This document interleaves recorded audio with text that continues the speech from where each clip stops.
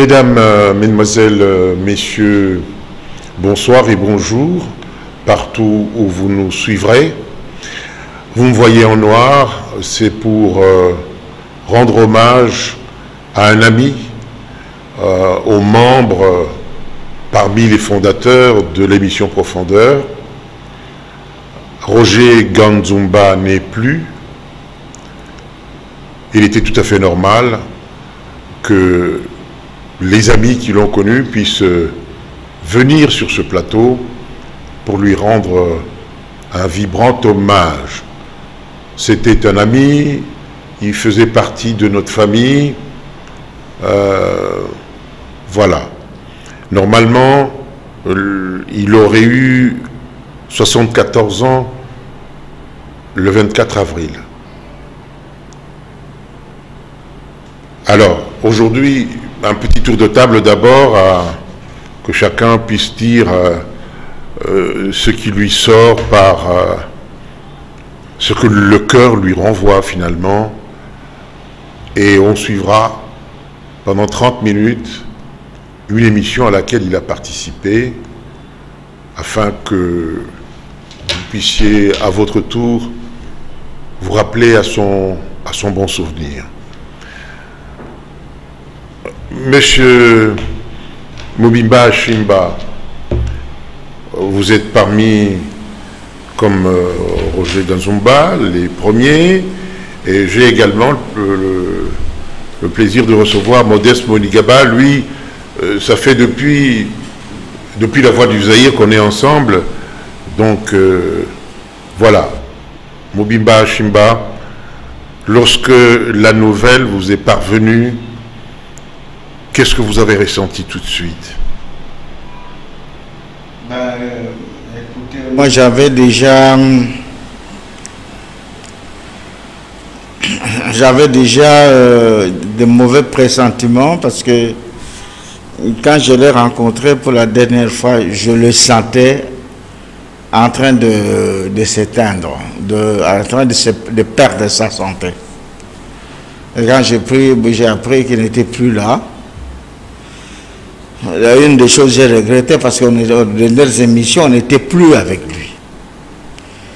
Or, que- qu'était l'engagement de, de, de- de Gazumba comme de la plupart d'entre nous ici euh, dans cette émission?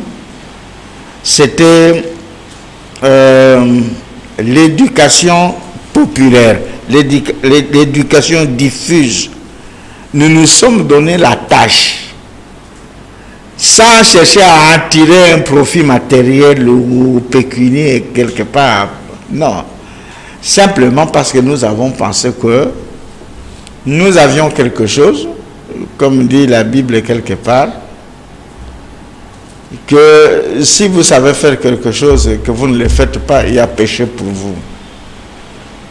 Nous possédons quelque chose et nous avons l'impression que beaucoup d'entre nous n'ont pas ça. Et nous nous sommes donné le devoir de, de partager, de diffuser ça.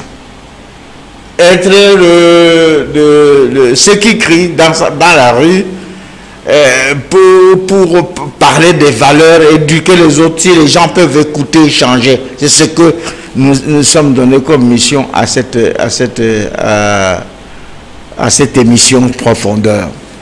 Et j'ai vu là-bas l'engagement de tout le monde, et en particulier de Gazumba de Roger, quand il parlait avec la passion pour défendre des valeurs. Et après, euh, il y a eu, euh, d'ailleurs, je pense que c'est en partie, partie d'ici, euh, le changement de mentalité. Il y a beaucoup de, de- notions qui ont circulé dans, dans les différents milieux ici au pays, qui sont partis d'ici, notamment le changement de mentalité. Par exemple, s'approprier le Congo, s'approprier nos valeurs, c'est parti d'ici. Et parfois vous rencontrez des gens, euh, je dis, il dit, mais au fait, vous gagnez combien avec cette émission? Il dit, ça vous intéresse? Il dit oui, mais nous gagnons justement ce que, ce que vous avez gagné. Si vous, si vous dites que vous avez gagné quelque chose, c'est que moi j'ai gagné le double. Eh bien, c'était ça aussi l'engagement pour, euh, euh, pour Gazumba. Et cet engagement, ça me, ça, ça me plaît beaucoup. Et vous, Modeste Bonigaba? Oui, euh, j'ai tout de suite décelé en Roger un ancien élève des jésuites. Il n'arrêtait pas de dire qu'il a été au collège jésuite euh, de Kinyati, je crois. Et effectivement, chez les jésuites, moi aussi j'ai été euh, chez les jésuites, on avait cette devise qui était affichée au fronton de notre salle d'études. On disait au collège se forge en toi l'homme de demain. Et tout au long de ces prestations ici, on a senti quelqu'un qui a été bien forgé. Et il était très, comme qui dirait, révolté de voir finalement que cette formation qu'il a reçue avec d'autres ne, ne servait pratiquement à rien dans la société parce que la société allait dans un sens qui n'était plus celui-là, où on voulait avoir des gens rigoureux, des gens respectant les principes fondamentaux, des gens qui portent des valeurs de progrès. Et il a à tout moment montré qu'il fallait changer, qu'il fallait changer notre société pour qu'elle puisse prendre la bonne direction. Et donc c'est quelqu'un qui va certainement, parce que beaucoup de, gens effectivement ont regardé nos émissions, et lui-même nous disait ici à, quel point il avait des, des retours quand il rencontrait des gens dans la rue qui lui disaient mais ce que vous faites là c'est vraiment euh, il faut continuer. Mais est-ce que les autorités aussi regardent cette émission?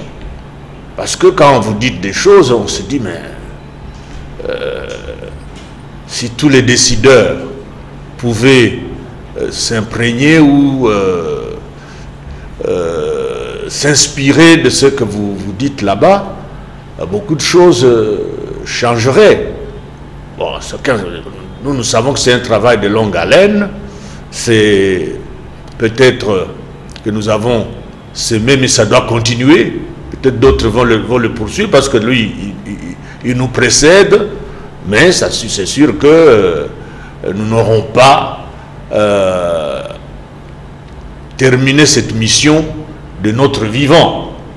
Donc nous allons, devons seulement espérer que d'autres vont prendre le relais quand le moment sera venu.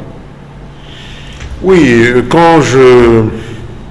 Le terme est fort. Quand je, recrutais les amis qui devaient venir euh, travailler avec moi, euh, je, je basais mon choix sur les discussions que j'avais avec eux. Hum, Gazumba, lorsque je lui ai proposé, il, m'a dit, tiens, je m'excuse de le dire, euh, tu es un journaliste crédible, je viens avec toi et il faut que nous essayions de changer cette euh, société. Elle est en train d'aller à volo, il faut qu'on arrête l'hémorragie et c'est avec plaisir que je viendrai contribuer à, à cette émission. Et il est venu un esprit très alerte. Parce que ce que j'ai remarqué, c'est que euh, il y a des moments où je préparais le plateau, les amis que j'avais prévus euh, s'excusaient euh, à deux heures de l'émission, parce qu'entre-temps, on leur avait dit, ne va pas là-bas, c'est une émission hautement euh, intellectuelle. Et j'appelais Gazumba, sans préparer, il venait. Un esprit alerte.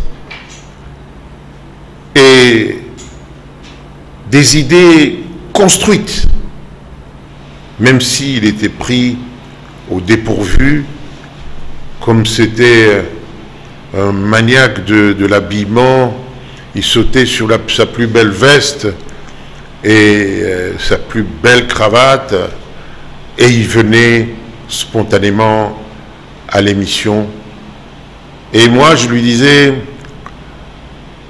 c'est parmi les personnes qui ne suivaient pas. Hein. Je lui disais, mais tu, sais, si tu suivais l'émission, si tu avais cette habitude, eh bien, tu améliorerais mais, mais terriblement tes prestations. Et voilà, il, nous a quittés. Euh, je vois que Mobiba, vous êtes en train d'écrire quelque chose. Vous voulez euh, la dire tout de suite ou après l'extrait? Comme vous voulez. Non, peut-être je voyons l'extrait. Alors, suivons l'extrait de cette émission que nous avons réalisée ensemble. Moubimba n'était pas là, il y avait Modeste, euh, il y avait euh, Denis Manara et, il y avait également Gadzumba.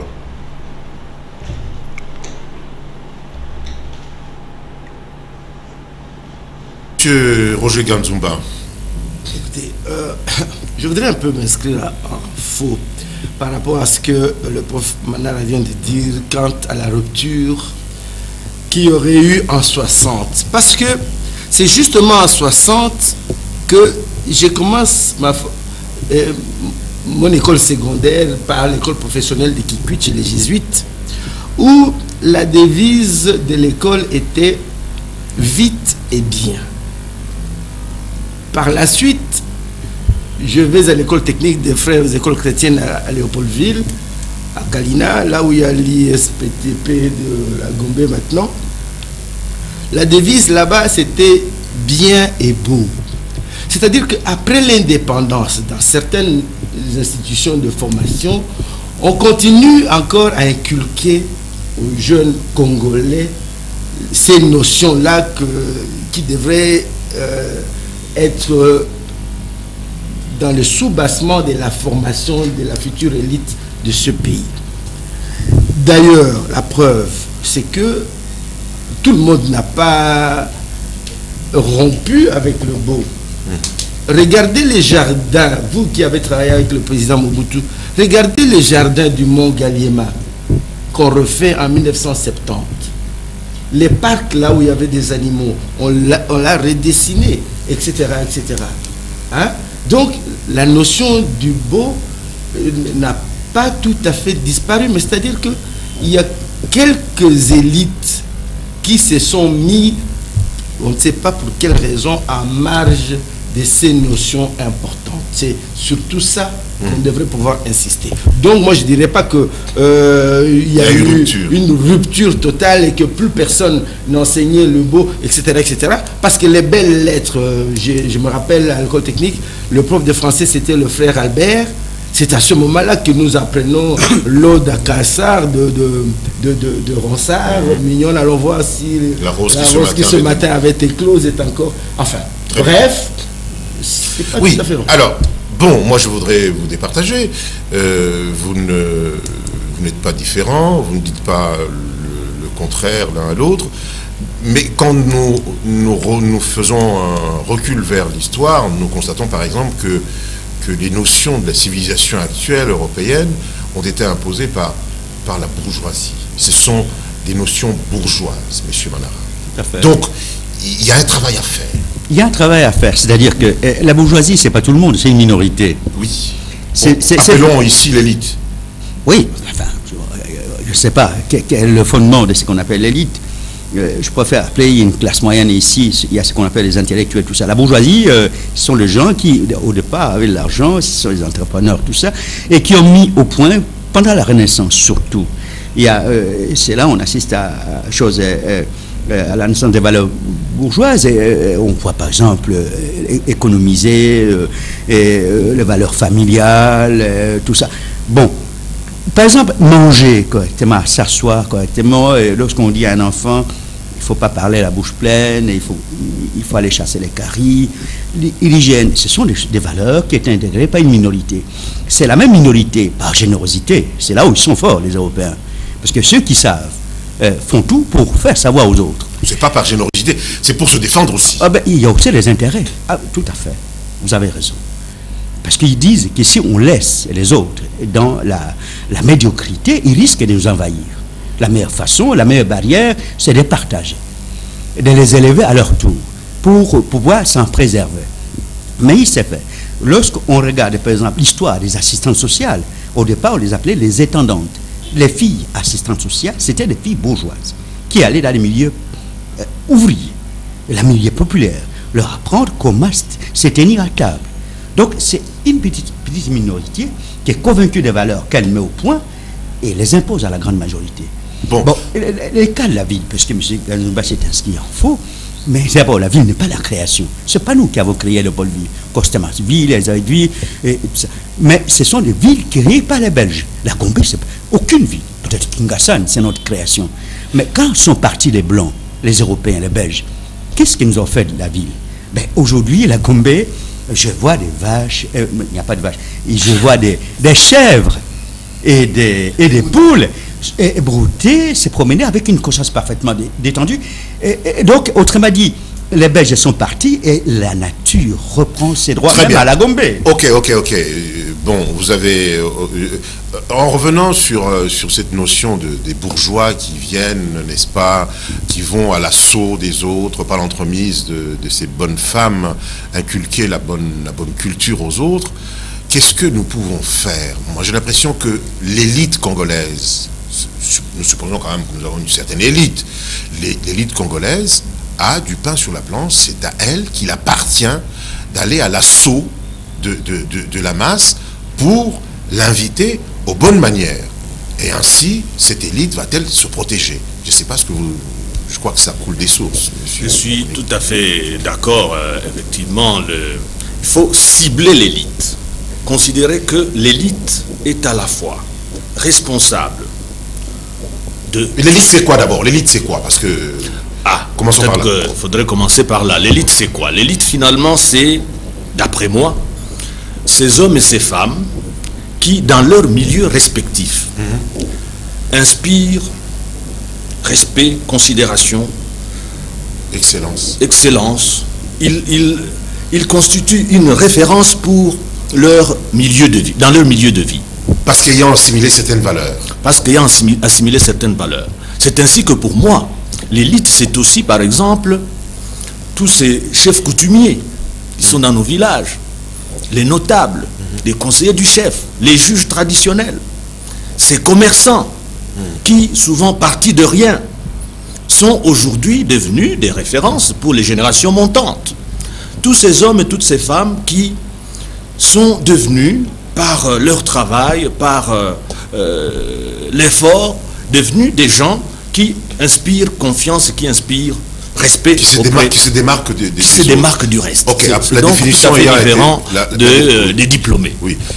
La définition ayant été, disons, de faite, dite, alors le reste, alors, le reste, je crois qu'il faut faut pas se contenter de dire que l'élite a des responsabilités plus lourdes mhm. que le reste de la population.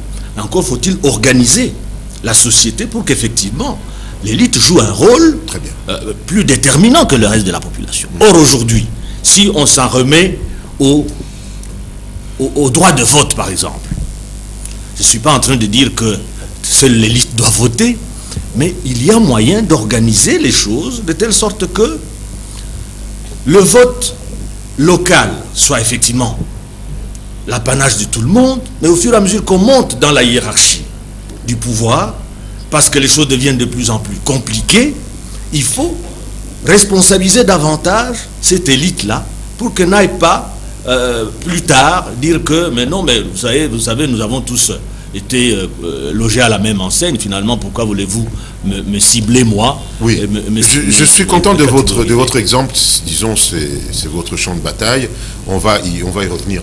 Monsieur Gazumba, on est d'accord avec vous, avec vous pour dire que l'élite a, du pain sur la planche Exactement. L'élite ainsi ciblée, parce que j'ai beaucoup aimé. Oui, l'élite ainsi ciblée, c'est-à-dire que celle qui a le pouvoir de changer les choses et éventuellement d'échanger les gens. Parce que c'est ça qu'il faut.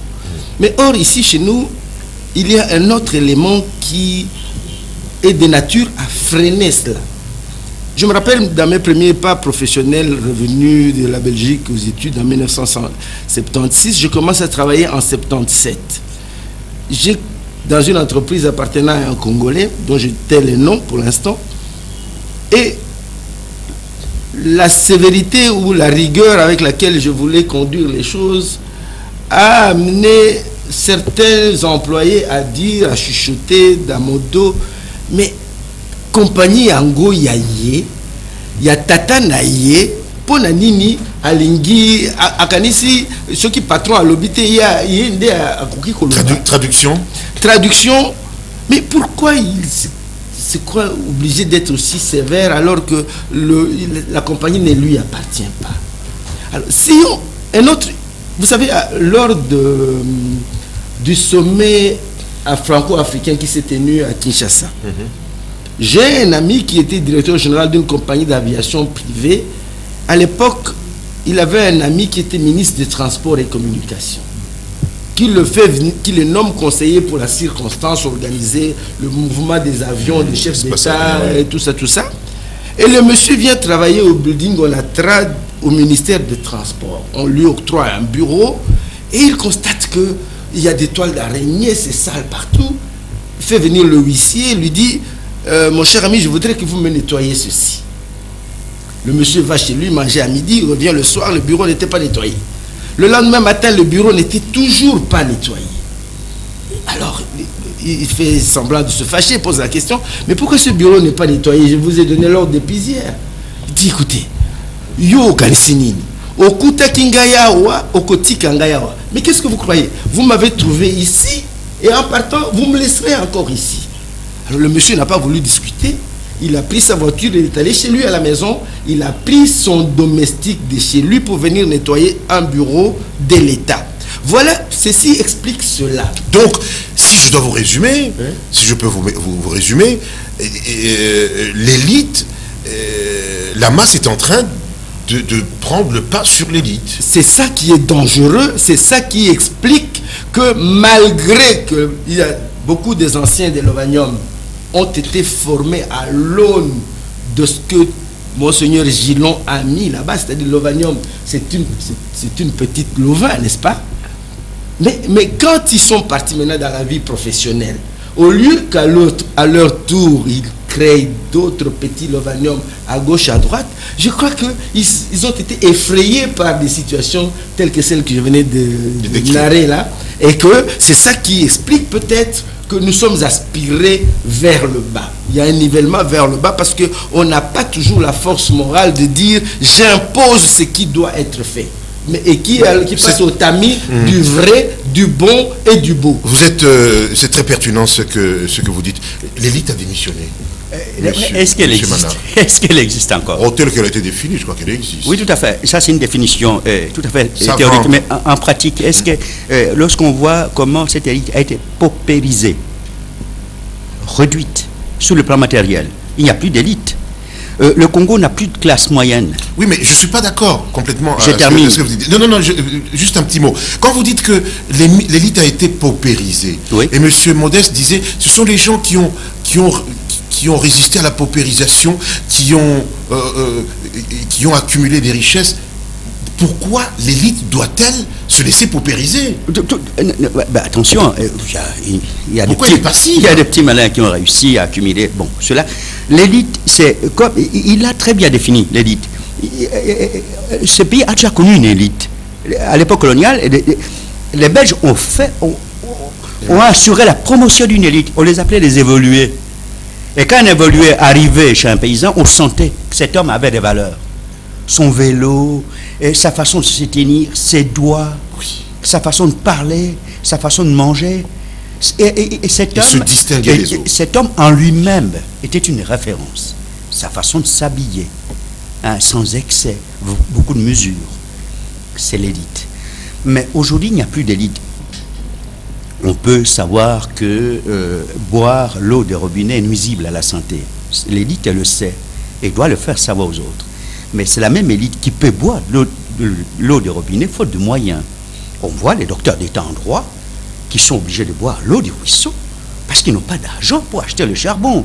Donc, savoir, c'est une chose. Pouvoir, c'en est une autre.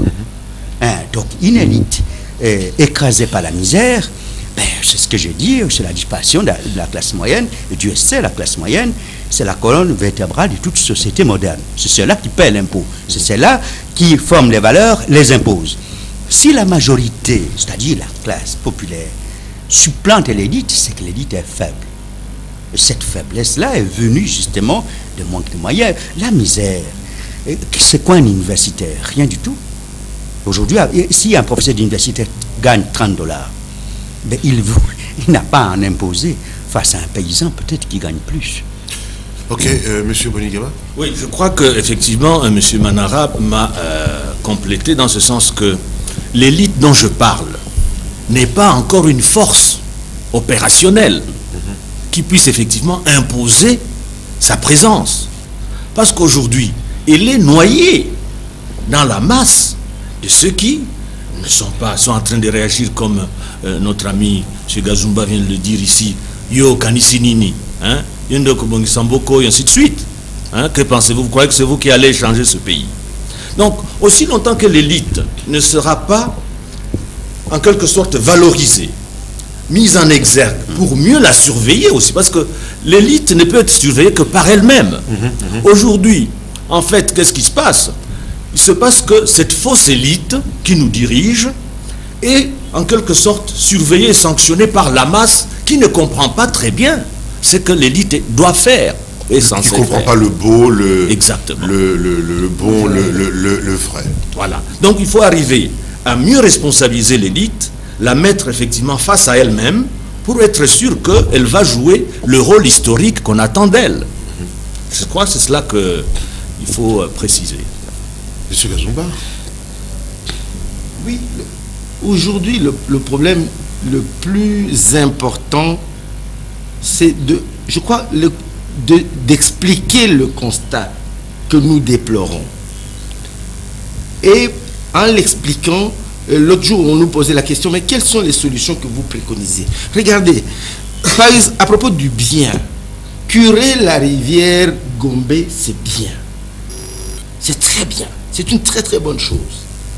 Mais déposer les immondices sortis de la rivière sur la chaussée du 24 novembre et l'y laisser plusieurs jours, comme ça est là maintenant, ce n'est ni bon ni beau.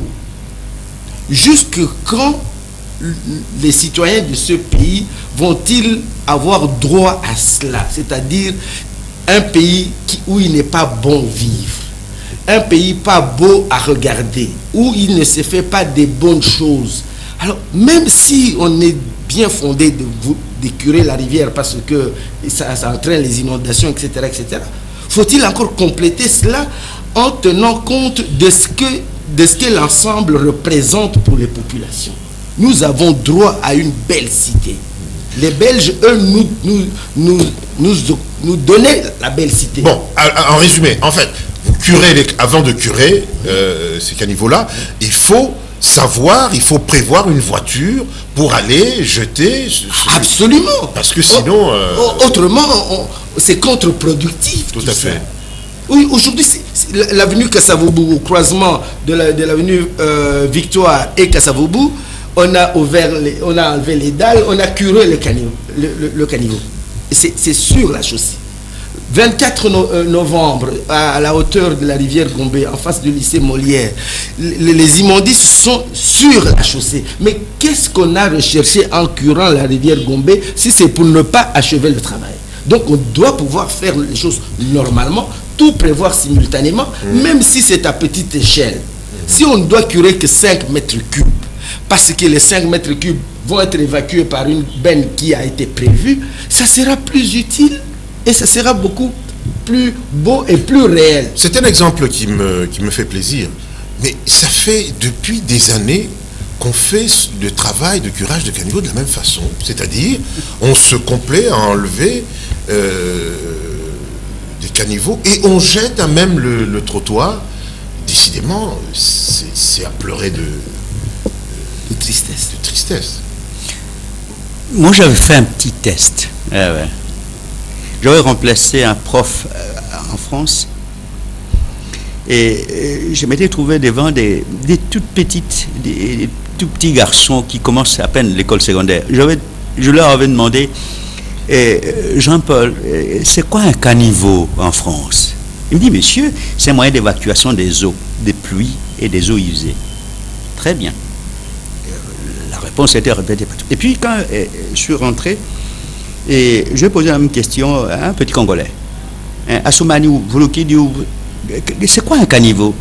Le petit a donné une réponse, mais dans notre langue, mais euh, aussi euh, exact. Il dit, euh, le caniveau, oui, le caniveau, Mais c'est dites-le en Swahili, ce sera pour euh, caniveau ni fasi ya kuzibia maji ici cette traduction. Cela veut dire que euh, le caniveau, c'est un moyen de rétention des eaux usées et des pluies. C'est une blague que vous nous faites. Non, c'est pas une blague. Et en tant que professeur, je donne 10 en. Donc, tout comme j'en ai donné 10. Paris. Ben, il y a un problème. Euh, Qu'est-ce qui est beau? Retenir les eaux usées où il y a des milliards de microbes ou alors euh, avoir un caniveau, l'aménager de manière à ce que euh, ce caniveau ne puisse pas retenir les eaux. Alors, il y a deux choses. Où est le vrai? Là, on n'a pas abordé. Les Européens qui aménagent des caniveaux, qui évacuent les eaux usées et très dangereuses, ou nous, Congolais, qui aménageons nos caniveaux pour retenir ces eaux où pullulent des milliards de microbes. Nous n'arrivons jamais à nous poser cette question. Pourquoi ces eaux stagnent? C'est simple. Ça, c'est, à partir du moment où un homme ne se pose pas ce type de questions, il n'est pas un homme. Il change. Il faut absolument qu'il change de règne, qu'il appartienne au règne animal. Si le problème des caniveaux se pose depuis 40 ans, nous n'arrivons pas à trouver la solution pour pouvoir vider ces caniveaux, alors nous ne sommes pas des hommes. Bon, est-ce que c'est parce que nous n'avons rien compris? Nous les intellectuels, oui.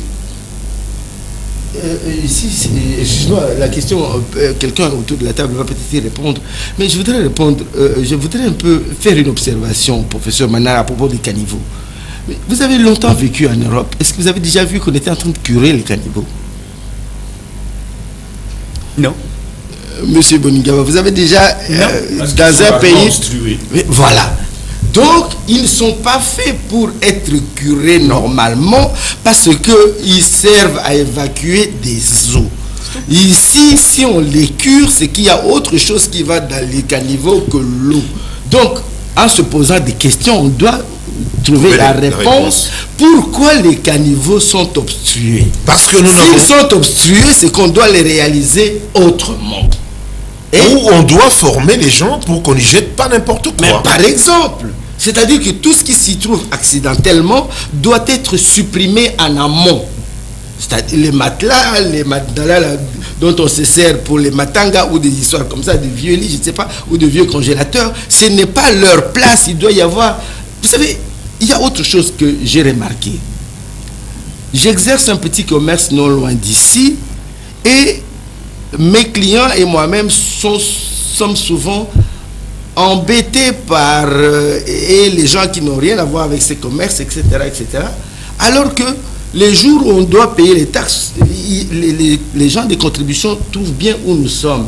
Mais par contre, ce qui existe en Europe, la police de proximité, où deux agents circulent deux à deux pour dire aux gens qu'est-ce que vous faites là, circulez, et vous là, c'est pas votre, euh, montrez vos papiers, etc. Ici, ça n'existe pas. Alors, c'est peut-être ça aussi la solution, la coercition, pour que les gens ne se sentent pas libres de faire n'importe quoi. Oui, la violence. Vous allez jeter un matelas dans un caniveau, il faut avoir peur qu'on va vous repérer, qu'on va vous verbaliser, que vous allez être sanctionné pour ce geste. Or, quelque part, Vous avez constaté, chers amis, qu'il va véritablement nous, manquer euh, ce brillant esprit, ce brillant économiste. Un autre commentaire, parce que j'ai vu que Moubimba et euh, mon ami Modeste Bonigaba étaient en train euh, d'écrire, euh, de prendre des petites notes.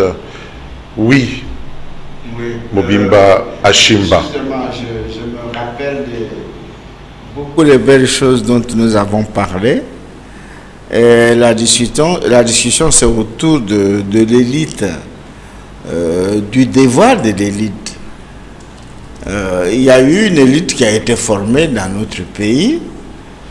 On a connu des, des écoles qui ont formé ces, élites. Et aujourd'hui, on a bien l'impression qu'il n'existait plus d'élite. Et aussi dans la, la société traditionnelle, on formait de l'élite traditionnelle. Aujourd'hui, quand on va dans le village, c'est regrettable. Tout le monde, les gens dans le village ont l'impression que vous les avez abandonnés depuis que les étrangers, les Belges sont partis. Vous vous êtes accaparés de tout à Leopoldville et dans les grandes villes et vous les avez abandonnés. Et donc, il y a nulle part où se trouve cette élite. Cette élite, l'élite, au fait, c'est ce qui, pour paraphraser, euh, euh, euh, euh, euh, voilà, voilà, les noms, les noms est perdu. Pa- parler de notre ami Ganzumba, je voudrais encore parler de, euh, voilà, c'est, Denis Manara non, non, c'est lui qui a écrit en, en 62, là, qui, qui a participé à la révolution euh, Fanon. L'élite doit être, doit porter des phares. C'est l'élite qui éclaire le chemin au reste de la population. Par des idées et par le modèle. Il y a des idées, il y a le travail et les modèles de, comportement. Je me souviens euh, que c'est des choses qu'on nous enseignait, nous, dans les systèmes euh, traditionnels au village en famille, et puis dans les initiations que nous recevions, parce qu'il y a le monsieur qui a dit qu'il n'a jamais eu d'école. Non, nous avons été initiés plusieurs fois dans, plusieurs types d'initiations. De, de. Vous avez ces- ces valeurs qui reviennent, une douzaine de valeurs dont nous avons déjà parlé ici. Le- et il, a, il, il est revenu sur ces valeurs. Vous êtes d'ailleurs revenu, puisque vous avez été à cette émission. Le beau, le bon, Et le juste, le vrai. L'honnête, l'obéissant, le travailleur, le généreux. L'hospitalier, l'ordonné, le propre, le poli. Donc, un jeune qui grandissait, c'est ce qu'on cherchait, c'est chaque jeune on dit ah oyo akozala motu ye moto akotikala na awa na, na, à la chez nous pour, pour garder le village, le gardien. Pourquoi? Parce qu'il est poli, il est obéissant, il est généreux, il est travailleur. Il n'est peut-être pas propre, hein Hein? De temps, il n'est peut-être pas propre, mais c'est... Euh, si, euh, la, la propreté, ne, ne- ne la prenez pas du type de, à la manière de, de, de l'Occident. Parce qu'on se lave le soir, hein On va se laver quand Oui, on a terminé. c'est là pour le soir. Et La journée, on, on joue. C'est terminé. Mm, on. La journée, on travaille, on joue. On n'est pas pro- propre, mais on sait. Mais il n'y a pas un peuple qui, n'a- qui, qui- qui n'aimerait pas être euh, euh, propre. Parce que quand on n'est pas propre, on. On est attrape en des bonne maladies. santé, on n'est pas en bonne Oui, mais ce n'est pas la propreté telle qu'on l'entend aujourd'hui. C'est-à-dire faire des choses de ma- au, au point que la propreté devient l'occupation numéro un. Regardez un peu comment, par exemple, nos filles se sont abîmées les visages, euh, ou peut-être pas les filles, mais là, le- leur mère. C'est une autre génération qui est passée. Les filles aujourd'hui, c'est un peu différent. hein. Beaucoup ne se mettent plus ces histoires-là comme ça. Mais tout le temps, le visage, on doit mettre ceci dans la, sac en main, à tout moment avec miroir. Ce n'est pas bien. ça la propreté. Monsieur, Oui, euh, je crois que après avoir euh, regardé cet extrait de l'émission, de l'une des émissions que nous avons euh, animées ensemble avec notre ami Roger Gazumba, on retrouve, comme dans toutes les autres, vous avez dit la même verve et la même perspicacité. perspicacité et la même rigueur. Donc c'est quelqu'un qui n'était pas prêt à, se compromettre avec laxisme. et C'est quelqu'un qui, euh, manifestement été allergique à la médiocrité dans toutes ces manifestations. C'est donc, comme vous l'avez dit, il va vraiment nous manquer énormément parce que euh, avec son humour. euh, Oui, et puis il, il savait trouver des exemples. Voyez, bon, euh, il trouve cet exemple des, des- des- matelas qu'on va. C'est plutôt. C'est une petite exagération, parce que le matelas, on ne va pas le jeter dans. dans, dans, dans- mais caniveau. C'est un caniveau, on s'en sert pour faire autre chose. Ou on- Mais là, c'était pas vu ça un peu de... dans une des rivières, oui, oui. on- la nuit, on abandonne euh, le vieux matelas parce que papa est venu avec un. Il n'y a personne un- pour. euh, Non, mais c'est vrai, c'est. Oui. Il y, a, il y a deux autres choses dont nous avons beaucoup parlé ici, et notamment parce qu'on on, s'est partagé bien cette valeur avec lui, étant donné d'ailleurs que Oui, la proximité tribale? nous, nous sommes... nous- non, nous sommes... Provincial. De, de- nous sommes de, de la même origine, origine culturelle. Souche, oui. Nous sommes de la même origine culturelle. Gazumba était... euh, euh, mais Comme maître Kamanda euh, était quoi? Oui. Euh, euh, mais je deviens fou, moi, là. Non, mémoire, là. Il y a les Pendé et les Kwese. Mhm. hein? Pendé et les Kwese, c'est une, presque une même, euh, une, même, une même culture. Et de- moi, je, je l'ai connu un peu aussi à, à Kikwit, même avant de venir ici. Alors, il y a des choses. Les bigilas et les colatiers. Au fait, quand est-ce que nous avions parlé de colatier Parce que nous avions suivi, on discutait d'un occidental qui avait dit, bon, euh, euh, les Africains ou les Congolais, ils ne pensent jamais à leur avenir, à leurs enfants, tout, tout, tout, aux générations qui vont vivre au jour le jour. Et quelqu'un a, essa- a essayé euh, de surenchérir pour dire que oh, nous avons dit non, ce n'est pas, pas vrai.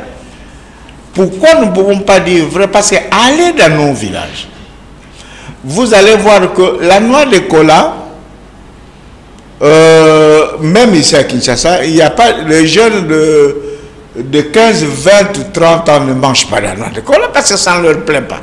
C'est pas bon. Ceux qui apprécient la noix de cola, ce sont à partir de la cinquantaine, jusqu'à monter, 50, 60, 70 ans. Ils aiment la noix de cola. Ils veulent boire de l'eau avec la noix de cola. Ils veulent boire des vins de palme avec la noix de cola. Mais le colatier, pour le planter, vous le mettez à terre C'est pour les autres. pour qu'il commence à, à produire. C'est c'est 12-14 ans d'âge quand il commence. Alors on dit, prenez quelqu'un qui a 60 ans, qui a, qui a commencé à 50, soit 55, manger. Il dit, mais c'est très bon, il faut que moi j'ai aussi mon colatier. Il prend cette décision à 55, 60 ans.